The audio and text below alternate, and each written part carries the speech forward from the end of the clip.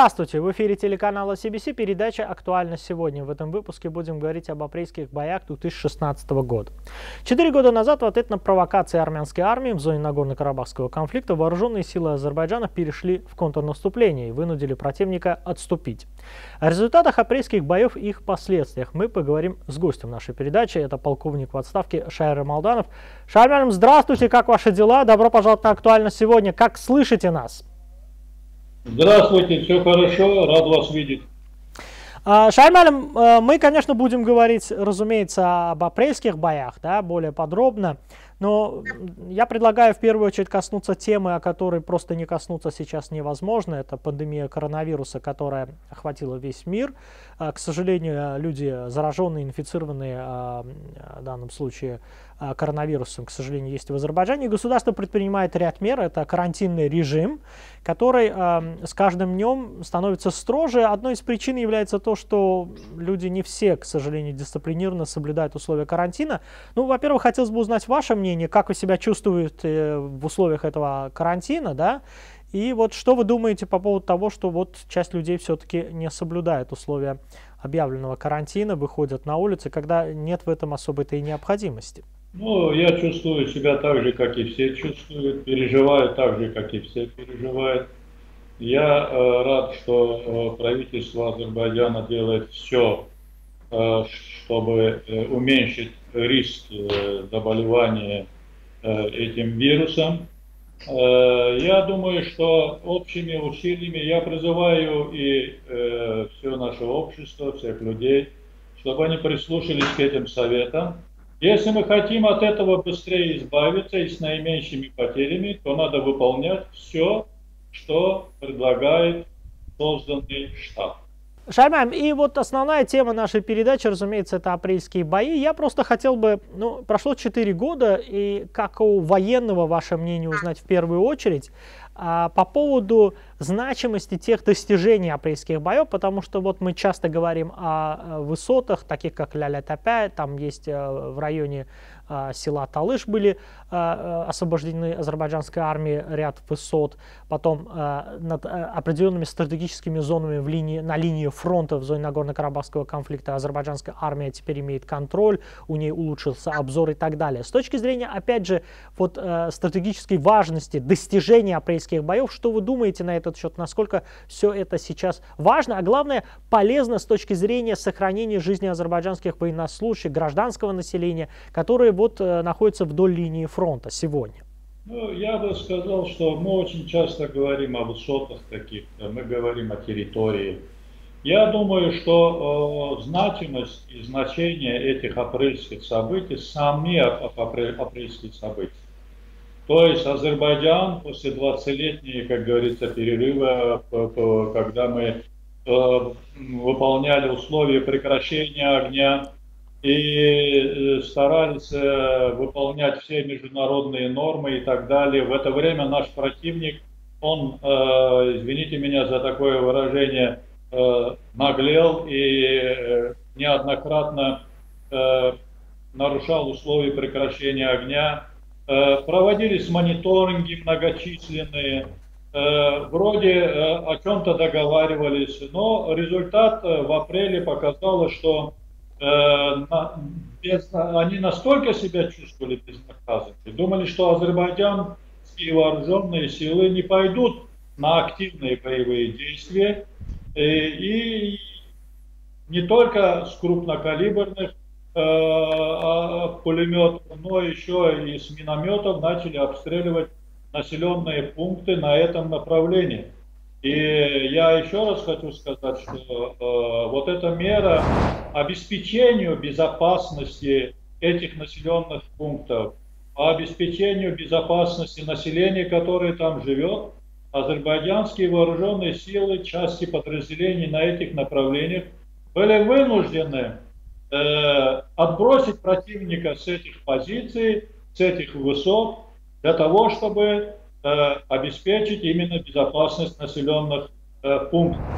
Э, во время этих кавказских событий я бы сказал, что они значимы еще потому, что, во-первых, в международном плане мы показали, что Азербайджан не намерен вечно терпеть агрессию со стороны Армении, то рано или поздно Азербайджан восстановит свою территориальную целостность. Другой стороны, мы показали свой кулак. То Азербайджана есть кулак, есть силы, что Азербайджан превосходит и в техническом положении, и в тактическом плане, и может провести, э, как говорится, контрнаступательную операцию. Конечно, у нас не было планов э, проводить широкомасштабную контрнаступательную операцию, э, антитеррористическую операцию. У нас не было задачи, не стояла восстановить полностью территориальную целостность. Просто это ограниченная задача, которые подразделения части на этих направлениях э, успешно выполнили и за короткий срок. Мы знаем, что э, армяне все время хвалились, что 20 лет они сидят в обороне, они создали линию, э, как говорится, которая непреодолимаемую, во всяком случае, азербайджанской армии, это Аганьяновская линия обороны. Но за первые буквально час-полтора вооруженные силы Азербайджана преодолели эту линию.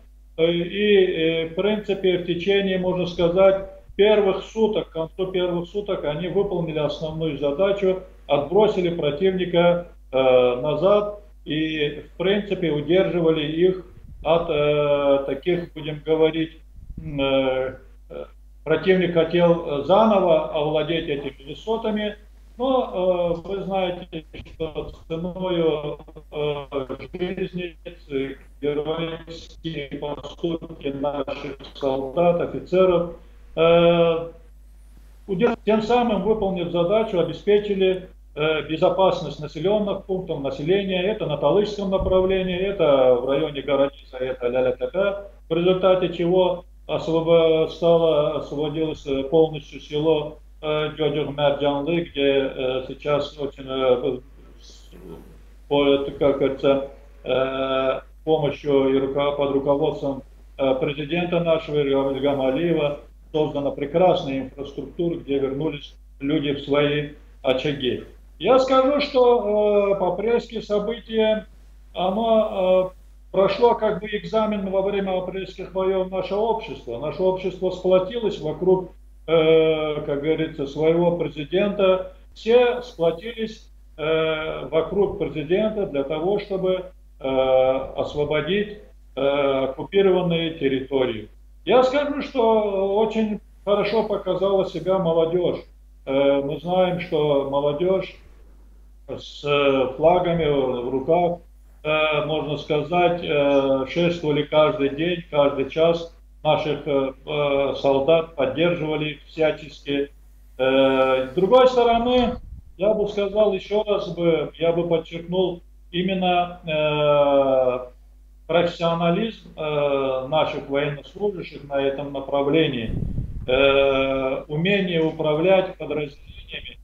И в то же время э, в комплексе во всех во взаимодействии решать поставленные вопросы.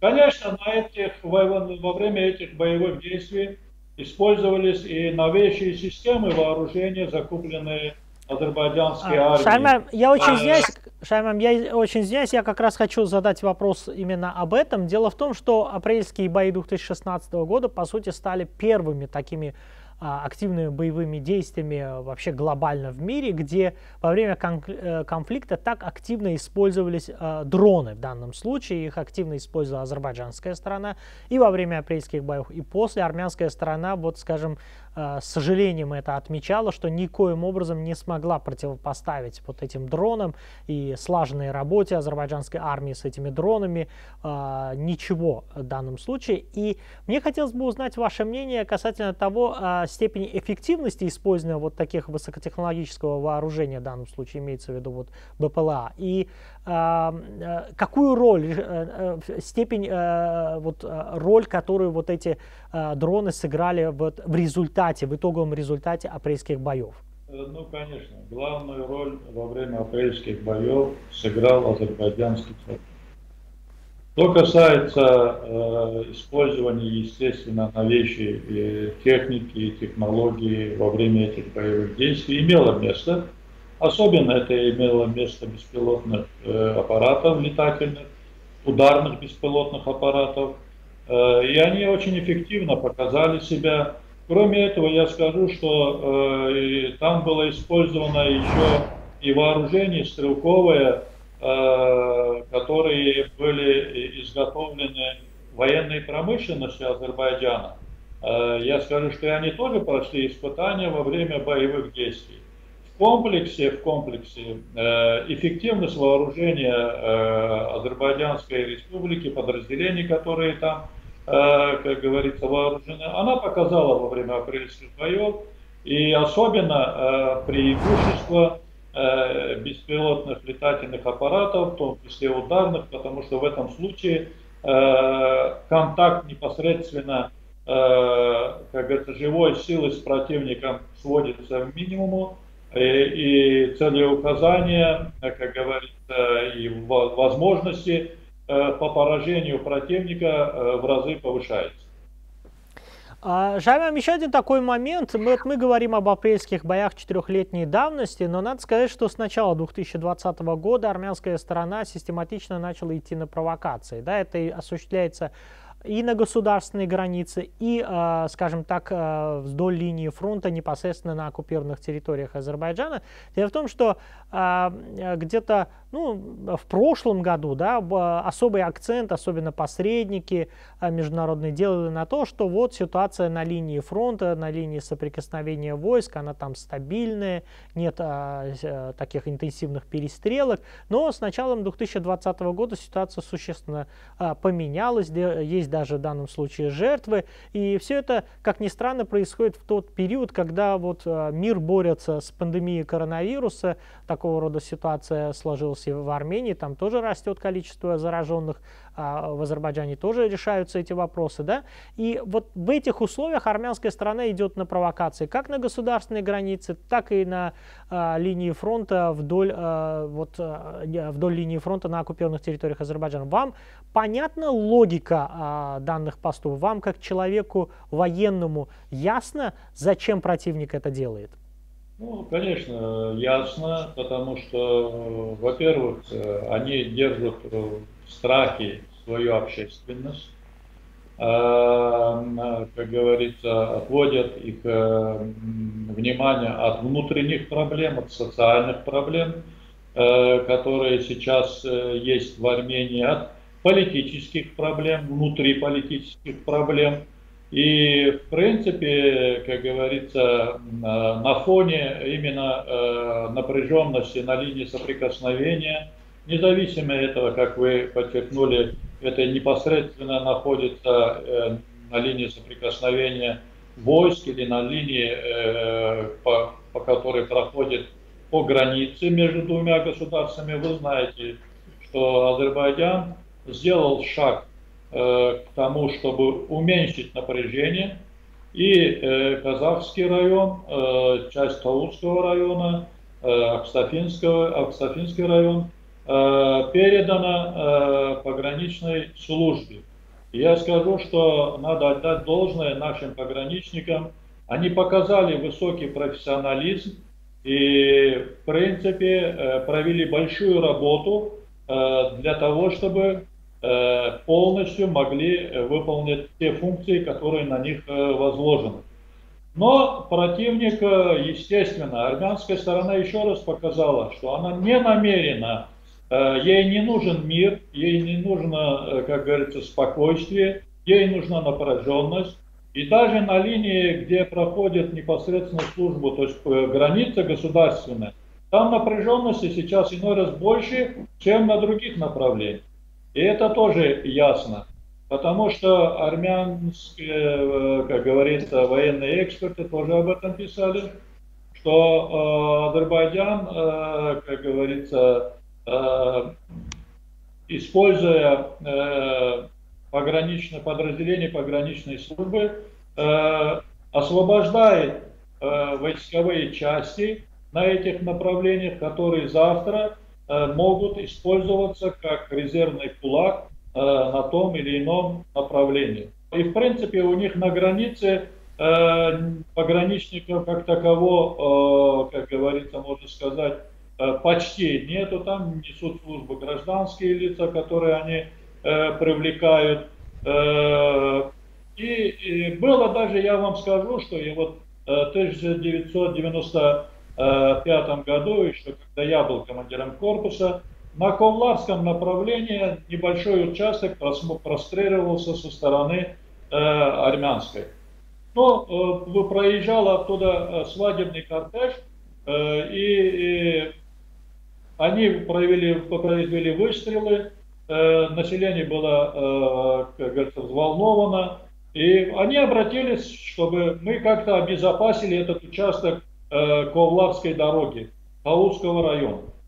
Э, Провели необходимые мероприятия, и мы заняли эти посты, э, после чего к нам э, на переговоры вышли российские представители российских пограничников, которые вышли и спросили наши намерения.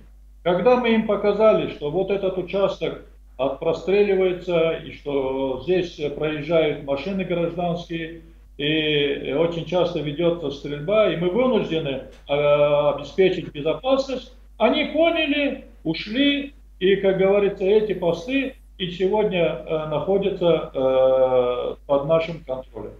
Поэтому э, я хочу сказать, что они за свои границы абсолютно не беспокоятся. С другой стороны, они хотят привлечь, э, вот как члены ОДКБ, Э, государства, которые входят в ОДКБ, э, хотят привлечь к этой проблеме, то вот на границе Армении и Азербайджана напряженность, и что они должны в какой-то степени отреагировать. Поэтому э, в любом случае все планы и все, как говорится, намерения армянской стороны нам известны, но, к сожалению, все они ведут не к, э, к спокойствию на линии соприкосновения, а наоборот нагнетает напряженность.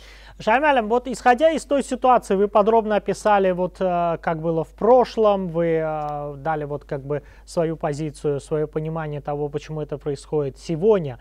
А на ваш взгляд, апрельские бои могут повториться? Вот э, мы говорим о событиях четырехлетней давности, но сейчас они могут повториться по своей сути и содержанию? И нет ли у вас ощущения, что там в Ереване немножко забыли все-таки уроки апрельских боев 2016 года? Ну, во-первых, я хочу провести цитату, которую говорил Верховный главнокомандующий вооруженными силами Азербайджанской Республики, президент Азербайджана Иван Алиев. Если Азербайджан и Армению оставят один на один, то вооруженные силы Азербайджана способны за короткий срок разгромить оккупированные группировки противника и восстановить территориальную целостность. Что касается апрельских событий, я думаю, что оно будет, может не повториться, а могут э, начаться широкомасштабные контртеррористическая операция, которая разгромит оккупированные оккупационные группировки и восстановить территориальную целостность. Я не думаю, что э, в следующий раз Азербайджан э, будет э, перед вооруженными силами Азербайджана и подразделениями будет поставлена ограниченная задача. А я думаю, что это будет э, конец оккупации Э, азербайджанских земель э, с армянской стороны. Я думаю, что это время э, не за горами. А, Шаймам, еще один такой момент, когда апрельские бои произошли, это в Армении была совсем другая власть, потом власть поменялась, и они сегодня говорят, что, дескать, все проблемы армянской армии были от той власти и так далее. Конечно, немножко сомнительный тезис, сейчас долго мы в него вдаваться не будем. Во-первых, хотелось бы узнать ваше мнение, насколько вот армянская армия за эти годы поменялась и могла ли она вообще поменяться, и насколько верно в данном случае связывать это только лишь с одним-двумя политиками в стране, общее состояние а, армии в целой стране в данном случае, насколько это верный подход в данном случае? Я думаю, что армия это инструмент, где добиваются политических целей. Э, с другой стороны, я скажу, что э, э, Армения и правительство Армении никогда не было свободным в своем выборе. всегда в ее политику вмешивались третьи стороны, и были силы, которые, как говорится, вносили свои коррективы. Будь это диаспора армянская, которая находится не в Армении, будь это какие-то другие страны. Поэтому я думаю, что э, само армянское общество понимает, что с таким соседом, как Азербайджан, который имеет такие возможности, э, где прошли мегапроекты мимо Армении, э, как говорится, и Армения от э, этой оккупации только потеряла, но не приобрело. Сам Нагорный Карабах на сегодняшний день они не в состоянии ее поднять. Ее никто не признает во всем мире. все, если в комплексе посмотреть, то я не думаю, что там нет умных людей, которые об этом могут задуматься. А что касается э, правительства, приходят, уходят, но от этого позиция непосредственно по вопросу оккупации азербайджанских земель не меняется. Политика Армении, политика в Армении, э, отношение к этому не меняется.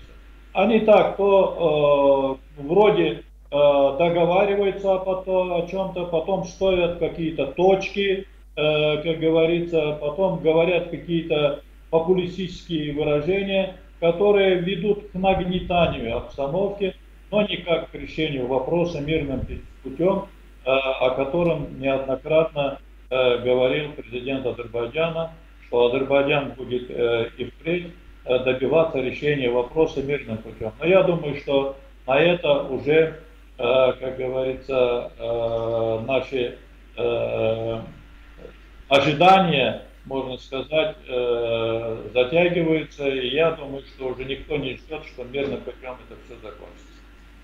А, Шаймам, у нас практически эфирное время завершилось. Я вкратце полминуты на два коротких вопроса. Во-первых, по поводу армянской армии. В Ереване констатируют, что вот если возвращаться опять к истории с пандемией, то коронавирус в данном случае инфицированы и Э, рядовой состав армянской армии. Э, как это может повлиять на боеготовность армянской армии? Это один момент, буквально полминуты у вас на ответ. И последнее, опять же, я хотел бы вернуться к ситуации с карантином в Азербайджане. Дело в том, что вы человек военный, и вообще военные и военное дело всегда у нас в первую очередь ассоциируется с дисциплиной. И во время карантина есть огромное желание, что граждане были дисциплинированы, соблюдали правила, не выходили без особой надобности на улицу и так далее. Да? Что вы могли бы, как человек военный в данном случае просто посоветовать обывателям, простым гражданам? Ну, во-первых, я скажу, что есть, да, такие факты, что в армянской армии, как говорится, есть э, зараженные этим вирусом. Э, я думаю, учитывая состояние Армении, их возможности и так далее, я думаю, что там это все может э, расти. Естественно, если это будет расти, то она по, по какой-то степени повлияет на боевую способность э, этой армии. Э, с другой стороны, я бы сказал, что э, армянская сторона, даже вот на Горном Карабахе, те выборы, которые прошли, показали, что для них главное это не борьба с тем, с чем борется сейчас весь мир. Для них главное это не здоровье граждан и населения и солдат. Для них главное те политические цели, которые они ставят перед собой внутриполитическом плане. Что касается населения, я еще раз возвращаюсь, что население должно не выходить из дома, находиться э, как можно меньше общаться, а если выходит, то соблюдать все меры предосторожности, защитные маски, перчатки и так далее и тому подобное. Я думаю, что э, этот вирус, он э, по сроку, обычно говорят, где-то 10 дней, 2 недели и так далее. Я думаю, если мы выдержим эти две недели, э, то мы э, справимся с этой проблемой и выйдем победителями, э, как говорится, над этой пандемией. Ну что ж, а, Шайман, большое спасибо вам за позитивные вот эти слова. Будем надеяться, что как можно быстрее вот эту пандемию нам удастся победить и жизнь полностью наладится. Спасибо, удачи, до свидания. Я напоминаю, в рамках передачи «Актуальность сегодня» мы говорили об апрельских боях 2016 года в зоне Нагорно-Карабахского конфликта. Тему обсуждали с гостем нашей передачи, полковником в отставке Шайром Рамалданом. До свидания, будьте здоровы и оставайтесь дома.